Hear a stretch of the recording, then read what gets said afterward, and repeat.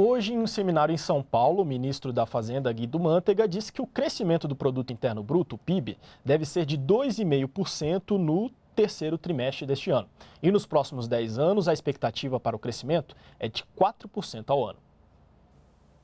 O produto interno bruto, PIB, soma de todas as riquezas produzidas no país, deve crescer 2,5% no terceiro trimestre deste ano. A projeção é do ministro da Fazenda, que participou de um café com empresários na capital paulista. Começando 2013 já nesse ciclo com 2,5%. Vamos ver de que maneira poderemos alcançar uma média de crescimento de 4%? Essa média de crescimento, eu diria que é um crescimento é, suficiente para aumentar a renda per capita, os empregos que o país precisa, aumentar a riqueza nacional, né?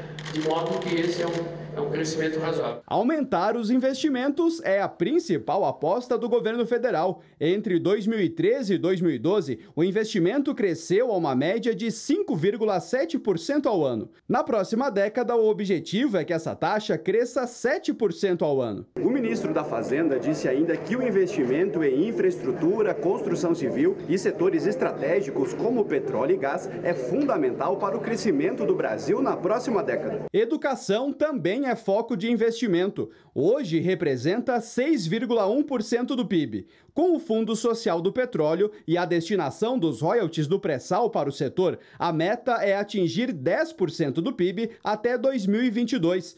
Quando o assunto é emprego, entre 2013 e 2013 foram criados mais de 20 milhões de vagas no país e o desemprego em baixa, apenas 4,7% este ano, deve impulsionar o Brasil a se tornar o quinto maior consumidor varejista do mundo em 2020. Em 2013 já tivemos um aumento de um, um milhão e meio de, de trabalhadores. Como disse, esse é o nosso desafio, conseguir ofertar mão de obra mais qualificada no próximo período.